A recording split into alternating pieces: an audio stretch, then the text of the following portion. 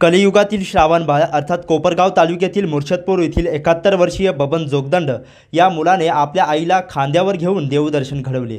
ही बातमी मायन्यूजने दाखवताच कोपरगाव येथील अनेक सामाजिक व राजकीय संघटनांच्या वतीने जोगदंड यांचा सत्कार केला जात आहे.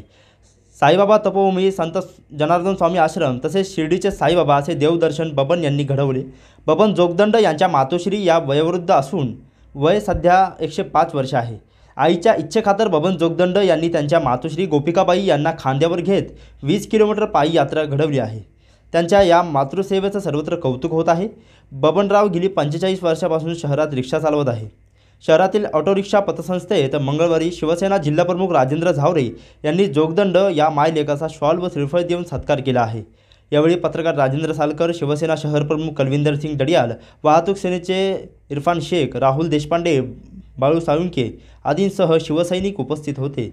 रिक्षा संस्था व शिवसेनेच्या वतीने या माईलेकरांचा सत्कार करताना शिवसेनेचे जिल्हाप्रमुख राजेंद्र झावरे म्हणाले आजच्या काळात भाऊ बहीण एकमेकाला विचारत नाही मुळे आई वडिलांना विचारत नाही.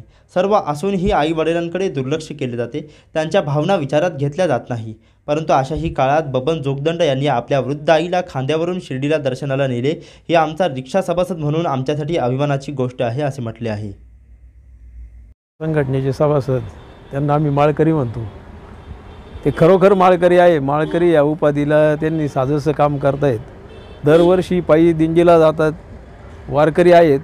आणि यावर्षी तर त्यांना कशी काय कल्पना सुचली? त्यांनी मला सांगितलं की आपल्या चौकातल्या गणपती मंदिरात मी गेलो असता तिथं बजरंगबलीला मी माझ्या सहज मनात कल्पना आली. साईगाव पालखी निघालेली होती. आणि त्यांच्या मनात कल्पना आली. त्यांनी बजरंगबलीला विनंती केली की ब मला तुम्ही एवढा मोठा पहाड उचलला तर मा मी माझ्या आईला घेऊन जाऊ शकत नाही का शिर्डीला साईबाबाला? तर त्यांना त्याचा आशीर्वाद मिळाला बजरंगबलीपासून त्यांनी प्रेरणा घेतली. आणि आणि खरोखर ते त्यांच्या मातोश्रींना आईंना घेऊन शिर्डीला पायी गेले. त्याबद्दल आमच्या रिक्षा संघटनेची मान उंचावली आहे आणि आम्हाला त्यांचा सार्थ अभिमान आहे. कारण आजकालच्या युगात आपण पाहतो भाऊ भावाला होत नाही बहीण भावाला होत नाही आईबापाला मुलगा होत नाही. व नवरा बायकोंमध्ये भांडणं म्हणजे सगळीकडं नकारात्मक वातावरण असताना देखील आजकालच्या या काळात एक आमच्या रिक्षावाल्यांचा आदर्श घेण्यासारखा आहे का? त्यांनी स्वतःच्या आईची एवढी सेवा केली का तिला? साईबाबाच्या दर्शनाला खांद्यावर घेऊन गेले श्रावण बाळासारखे. त्यांचं आदर्श घ्यावा तेवढा थोडा आहे. ठीक आहे गरीब माणूस जरी असलं पण त्यांचे विचार त्यांचा आदर्श ते त्यांचे गुण आपण आत्मसात केले पाहिजे. नुसतंच आपण बडेजावपणा करतो पण आपण घरात कसं वागतो लोकांशी कसं वागतो हे पण आपण आत्मचिंतन केलं पाहिजे. या निमित्ताने एवढं सांगतो. जय हिंद जय महाराष्ट्र. सत्कार झाल्याबद्दल येणाऱ्या पिढीने माझं बघून काहीतरी आई वडिलांची सेवा करावी हीच माझी इच्छा आहे. तुमच्याकडं संघटनेचं तुमचं कसं नातं आहे काय नाही रिक्षा संघटनेचं आमचं असं नातं आहे की आम्ही पंचेचाळीस वर्षापासून हे आमचे रिक्षा संघटनेमध्ये होते. भाऊनी आम्हाला त्या काळामध्ये खूप सहकार्य केलं. आम्हाला परपंच चालव म्हणून लांबचे शंभर दीडशे रुपयाचे भाडे हा भाऊ आम्हाला द्यायचे आणि ते दोन रुपयाचे भाडे गावातल्या गावात मारित होते. त्यावेळेला सहकार्य केलं. एक वेळेस मला त्यांनी हैदराबादमध्ये ठेवलं होतं. एक महिना माझं कुटुंब त्यांनी पैशानी घर पैशानी चालवलं.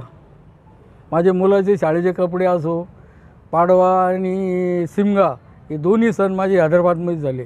भाऊनी एक योजना केली होती की आपल्याला एका मुलाचं ऑपरेशन करायचं. त्या डोळ्याच्या ऑपरेशनसाठी मला एक महिन्याभर तिथं ठेवलं होतं. यावेळेला मोबाईल नव्हते. त्यावेळेला मला तिथून फोन करायचं होतं. वड्याच्या दुकानमध्ये फोन करायचे. तर रात्री दहा अकरा वाजता उठून फोन घेण्यासाठी तिथं यायचे. त्यावेळेला मला म्हणे तू चिंता करू नको. जसं स्वामी समर्थ म्हणले मी तुझ्या पाठीशी आहे. तसे राजेभाऊ म्हणले तू काही अडचण करू नको. मी तुझ्या पाठीशी